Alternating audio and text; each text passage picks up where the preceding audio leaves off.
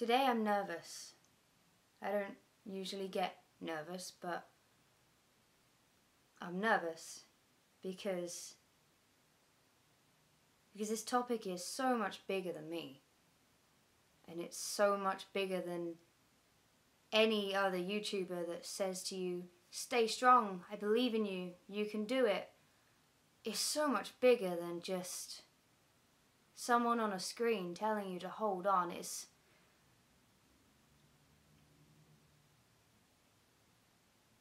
self harming is a toxic, addictive, extremely damaging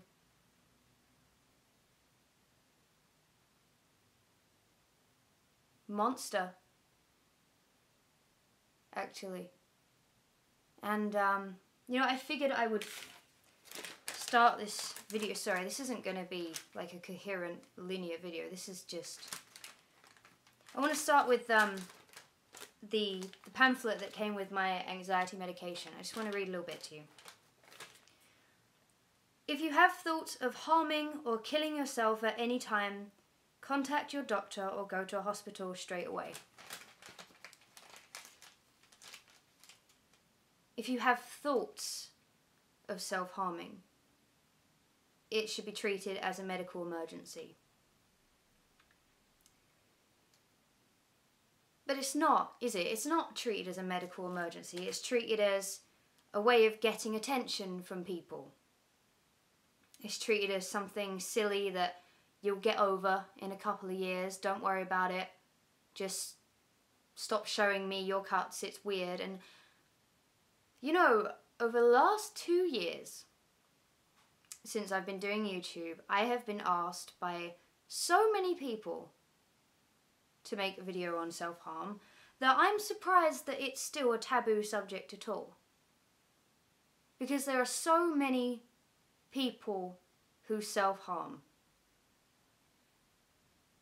Like, when I was like 13 or 14 and I, I was your age, and I don't mean to be talking down to you, sorry if you're not 13 or 14. When I was that age, like, it, it wasn't common at all, really. There were like two or three people in our year at school who did it that, that I knew of. But now I, I see it on Twitter like every day and just Tumblr every day. It's still treated as something that should be swept under the rug, and I. I don't get it. Because whether someone sees self harming as attention seeking or not, that person, whether they are attention seeking or not, is taking something sharp and dragging it across their skin and cutting open their flesh. And that's not normal behaviour. That's not what humans are supposed to do. It should be treated as a mental disorder or a symptom of a mental illness, but it's not. And I didn't mean to start getting frustrated. This is supposed to be a video on perhaps how to start the journey of stopping self harming. So I'm sorry for that. It just bugs me the way that society still treats this. Anyway, um, anyway, so before I properly start talking about you know, how to stop self-harming. Jesus. Like, I'm in disbelief I have to make this video. Like, it shouldn't be a thing, should it? Anyway, before I start, I, I want to say, like, this probably isn't going to be a video like other YouTubers may do, like, it'll get better, I believe in you. I mean, I wrote a song called The Promise, which is all about the fact that I do believe that you can get better and that you are better than self-harming. But I wanted this video to be kind of truthful. You know, my dad stopped smoking in 2002, so 12 years. He, he, he stopped cold turkey, like he just willpower, not gonna smoke anymore, and he did it. To, to this day, like he hasn't had another cigarette, but he, he said to me recently, there are still days where I could just have a cigarette. 12 years on. And he could still just jump straight back into that addiction. And self harming is an addiction. It becomes addictive. Your brain becomes addicted to the chemicals that are released when you do it. It's not normal for the brain to release things like dopamine and serotonin when you cut your own skin. It's not normal and it's treated like it's something disgusting. Sorry, I'm ranting again, aren't I? I just. I, I mentioned that smoking thing because when you when you stop self harming, say that you get to seven days, then 10 days, then two weeks, then three weeks, then four weeks, then two months. Self harming is always, for a long time, going to be the thing that you go to when things get hard again because your brain is going to remember how you felt when you self harmed. If someone upsets you, the first thing you're going to want to do is start self harming again. it could take years to to get rid of those thoughts, even if they even go completely at all. I mean, my dad still thinks about cigarettes twelve years on, so I, I know they're slightly different, but don't expect results immediately, and if you relapse, you're not a failure. It's not you failing anybody. It's it's an addiction, and addictions have been known throughout time. I guess I guess my point was just don't you know it, it's slow and steady steps and if you feel like going back to self-harming I'm not saying do it. I'm just saying it's not your fault. So oh this is going to be a really long video isn't it? Um there are a few things that you can do to help you start to recover from self harming, the addiction of self harming. When you have an urge to cut or burn or pull out your hair or hit your head against a wall, because self harming is not just cutting. If you get frustrated and smack yourself in the face, that is self harming there are different types of self harming. So anyone that says, oh, well, that's just a tiny little scratch, that's nothing, those people are toxic. When you when you want to cut, one of the things that you can do is if you are at home, go up to your bedroom if you're not already in your bedroom, lay on your bed and close your eyes Lay on your back, close your eyes, and imagine that your body is weighed down by like a ton of heavy rocks. Imagine that you have been trapped under a ton of rocks. Your body is heavy and you can't move. Stay there. Focus on breathing in and out and in and out. You are stuck under these rocks and you can't move. So close your eyes, take a deep breath in and out until you stop crying, until you become a little bit more rational. Because when you are upset, you will be irrational and you will think of irrational things. Wait for yourself to just calm down. There are another, there are some more things that you can do. Um, there are alternatives which you may have heard of already, such as holding an ice cube in your hand. Because that hurts. That that really does hurt. If it's freezing cold and you just hold it against the inner palm. I mean I mean cold burns hurt, but they they're not, you know, cutting open your skin. So there's that if you can't if you can't do that if you feel like that's no substitute for pain or the way you felt there is another technique that our school taught us i don't know how good it is i say school taught us there was like one brochure hidden at the back of like the nurse's office that no one could see, you know, because that's how well known self harming is to schools and. Ugh. Rubber bands is what I meant to say. Sorry. Get a rubber band and just pull the rubber band and snap it. Now, it shouldn't break your skin. It will hurt, but it, it won't break your skin. And right now, I'm just trying to focus on methods that aren't to do with wound inflicting. Um, so I don't really, I don't really know how good that one is. There's the alternative of cutting paper. If you fold paper up like once, twice, three times, four times until it's thick and it's hard to cut through, and you just focus on cutting that piece of paper, that tension you're putting in your hand can help just until you're thinking rationally again. I'm trying to think of other methods that I know and something that I haven't thought about really. I guess I kind of just jumped into this video because I thought,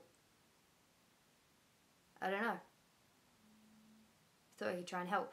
But maybe I'm not the best person to be giving help on something like this. Which brings me to another point completely. You gotta tell someone. And that's not what you want to hear right now, is it? You don't want to hear, oh, oh, tell a doctor. You don't want to hear that. I'm not stupid. If I turn around and said, hey, you must tell your parents, you're probably either going to feel sick in your stomach at the thought of it, or you're going to laugh at the screen. You will probably be afraid that your parents will be disappointed in you, or will get angry and defensive because perhaps they think it's their fault. That's that's a common reaction. I'm not going to lie. Parents think that they've done something wrong. I don't know your story. Maybe your parents are the reason you're doing it. I don't know you. Sadly. But there are people that you can tell. Really, they really are. Like, you think it's impossible. It's not. Sorry, my thing stopped recording. Um, if you're at school, if your school has a school counsellor or a nurse, before telling them your problem, ask is this strictly confidential? And if they say, well, if it's an emergency and we have to tell your parents, and you're not comfortable with that, that's fine. If they say, no, it's confidential, they're an adult who has been through life and is surrounded by kids and their struggles every day. Sorry, I didn't mean to call you a kid. They will be able to help you. If you feel like they are going to tell your parents and you're uncomfortable with that, you can actually go to a doctor. Doctors are under an oath to keep things confidential. You can ask them to reaffirm this if you are scared of it. If you are scared that they'll tell your parents, ask them, is this strictly confidential? Do you have to inform anyone? I believe the answer is no. Telling a stranger can be very, very scary. Hello, I'm a 15 year old girl and I self harm. It's not a sentence you want to say to anybody, is it?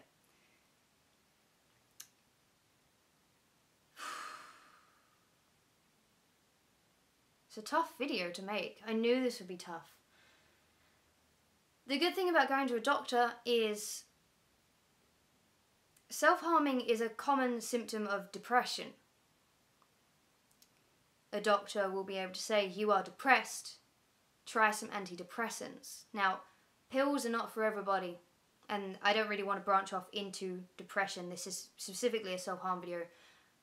Pills aren't for everybody, but I try them. If you're offered a medication that helps with your brain, because remember, this is to do with your brain, this is hormones and addiction. If you're offered something that can help, I would say try. Another thing is you can ask your doctor to refer you to I don't want to call them a psychiatrist because I don't want to, you know, imply that you're crazy. To someone that can help you through therapy. This is all confidential. there are people out there who understand. The medical world, as you saw in that pamphlet, they understand that self harming, just thoughts of self harming, is a medical emergency because it is a threat to life. It's a serious thing. It's serious. Just.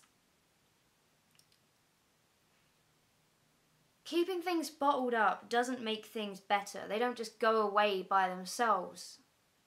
I'm sorry to burst a bubble. Sometimes you are able to fight through it with your own willpower. Sometimes you do go through it alone, but when you when you tell someone that you are feeling low or that you are self-harming, the weight just because you said it to somebody. You've said the words physically. If there is someone you can tell, an older brother or sister, a friend, anybody, I'd recommend it. There's a video that my friend Luke made about stopping self harming where every day for seven days you write cut cake on your wrist. For every day that you don't self harm, you write another letter. That's to do with our awareness, cut cake, not wrists, which was uh, founded by Bri Bri, my friend. There is another method that I just remembered. Um, if you wherever it is that you cut, whether it's your stomach, your thighs, your arms, again, I, I am aware I'm generalizing to wound inflicting.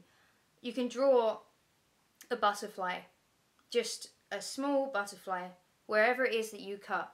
Draw over your cuts, so long as they are they they've scabbed over and you're not putting ink into your skin. It's your challenge from then to not hurt the butterfly. The only problem that I have with this is that you may just be tempted to self harm on another part of your body. But that's something to think about. There was a girl in my classes who was a close friend. Um, for the sake of the video, I'm going to call her Alice. It's not her real name. Um, when we were 13, like her family life was so, so bad. Like her dad walked out, her stepdad treated her like dirt, her mum didn't want to know and just drank all the time. And she started self harming. Found out in maths because I sat next to her. There were just cuts all up her wrist. And she saw me look and she just quickly pulled that up.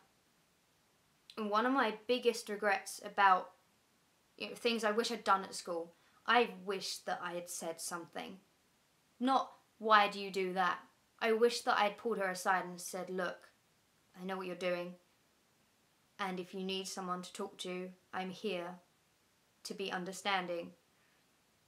If you have a friend who self harms, please just let them know that you're there for them without being judgmental or condescending, whether you know what they're going through or not. Don't treat them like what they're doing is weird because we're just getting to this breakthrough where depression is becoming more known and it's not a weird thing anymore. But self harm is still such a taboo, you know? I'm going into ranting again. If you have a friend who self harms, you will feel like you want to do something to help them. You will want to tell their parents. You will think about telling their parents, but you're worried is this a good idea? Because what if their parents just get really mad? I would say it's not your place to tell that person's parents.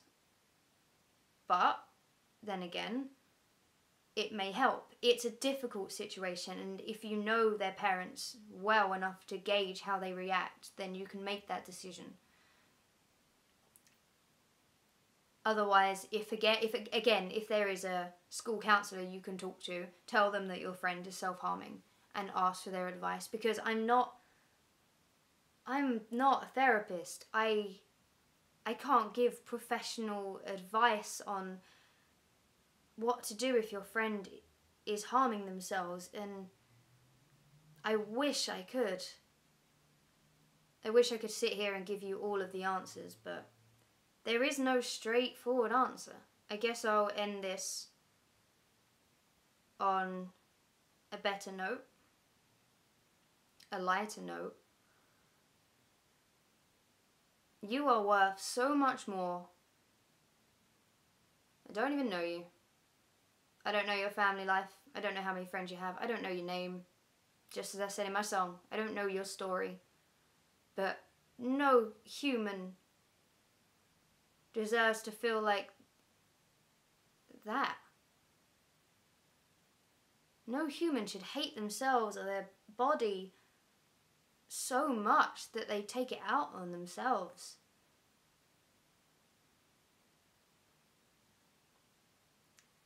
Whatever it is that you're going through, it's temporary.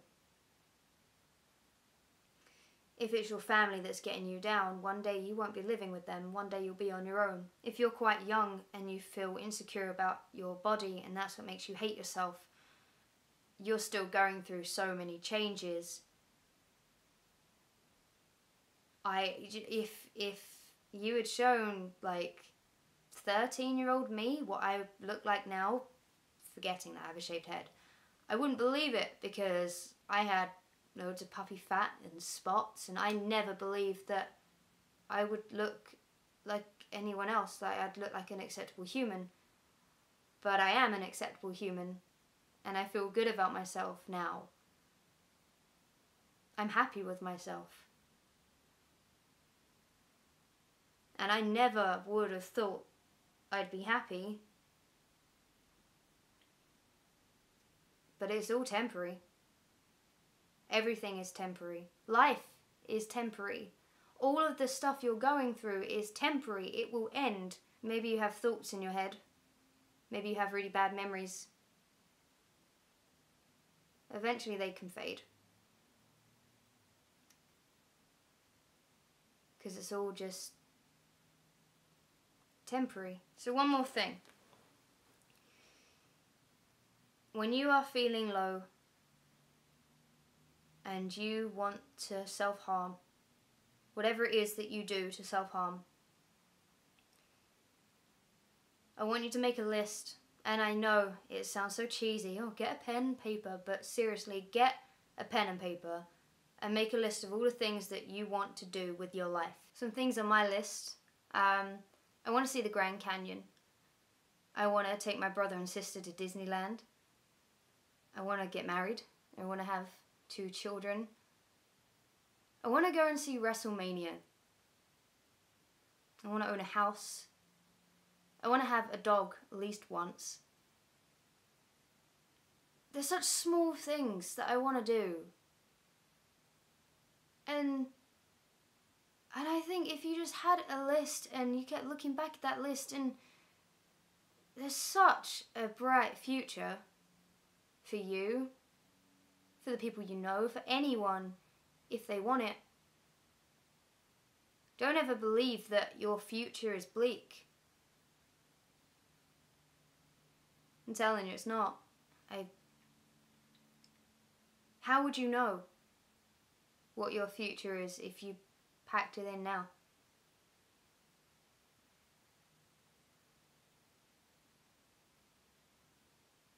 Treat yourself with the love that you want and the love that you deserve, which is a lot. You know, I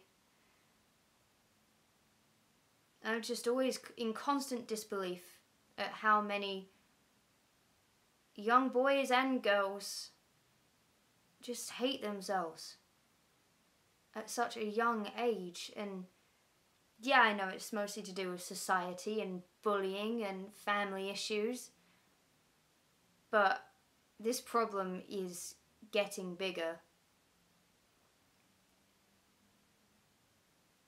And it's a lot bigger than me.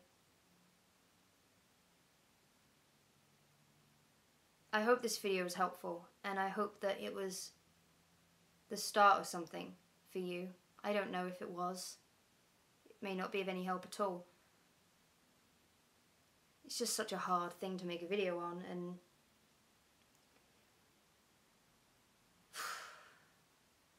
I hope this is the start of something better for you. Something that you deserve.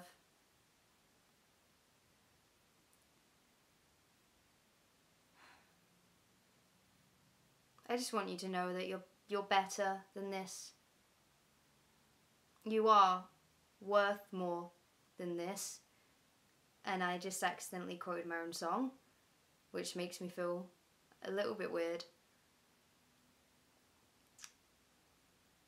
But I do believe in you. I've known some pretty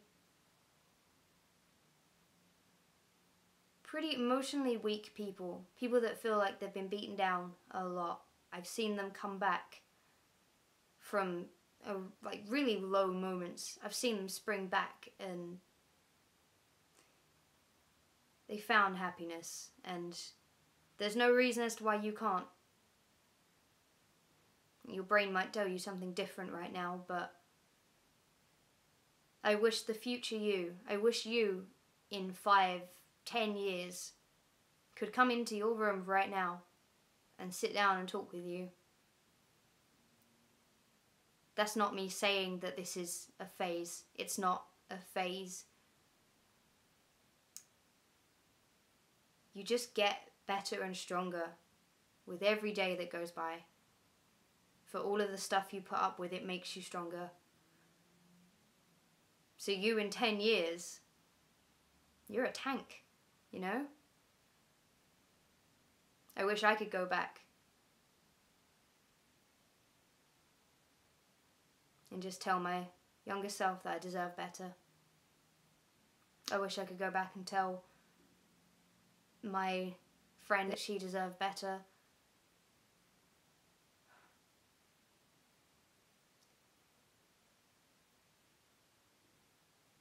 I hope this helped. I really do. See you soon.